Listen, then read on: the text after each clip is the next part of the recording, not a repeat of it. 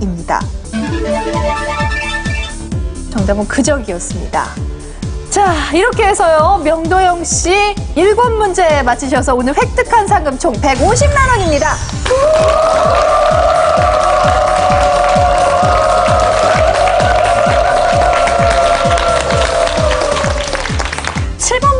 푸셨으면 좋았을 텐데 이왕. 길을 나선 때 내친 김에 한번 가보자. 내친 김에 달인까지 아, 생각났죠? 네. 아, 자, 아, 8번. 아는데. 올라갔다 내려갔다 하는 일. 이거 오르내림? 오르내리. 오르내리. 네. 아, 정답은 오르내리. 9번. 높이 우뚝 솟은 모양을 뜻하는 말 소솔이라고 합니다. 자, 10번 문제는요. 말의 첫 마디를 비유적으로 이르는 말 말꼭지라고 합니다. 첫머리니까 말꼭지. 자, 11번. 숨이 끊어질 때처럼 몹시 고통스러운 또는 그런 것 단말마적이라고 합니다.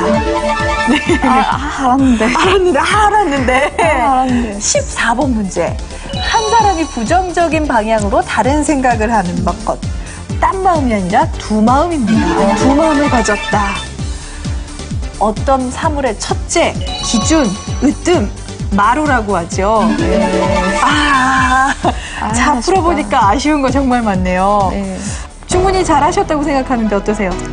그래도 약간 역시 아쉽네요. 아쉽게 다리는 못됐지만요. 우승자로서 이제 유학을 떠나십니다. 방송 나갈 때가 아마도 입학식 전, 제 입학식 전날일 텐데, 그러니까, 음, 몸 건강히 잘 있고, 항상 사랑합니다. 네. 사랑합니다가 최고겠죠. 이 프로그램에 참여하신 분들께는 천재교육 스토리텔링 해법수학에서 문화상품권을 사임당 화장품에서 국민건강상품권을 프리미엄 자동차 썬팅 스파이에서 문화상품권을 강동대학교에서 백화점 상품권을 미시 의류 전문 쇼핑몰 초코mom에서 문화상품권을 드립니다. 우리말 겨루기 제 1단계 다시 다시 동대 구원하러 이 자리에 섰습니다. 아들, 딸 꼭 엄마 손 들어줘. 오늘부터 다시 한번요. 우리 선이하고 한 약속 오늘 꼭 지키.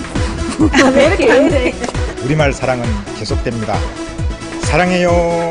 감사합니다. 우리말 열기문 활짝 열려 있습니다. 저는 다음 이 시간에 또 여러분 찾아뵐게요. 안녕히 계세요.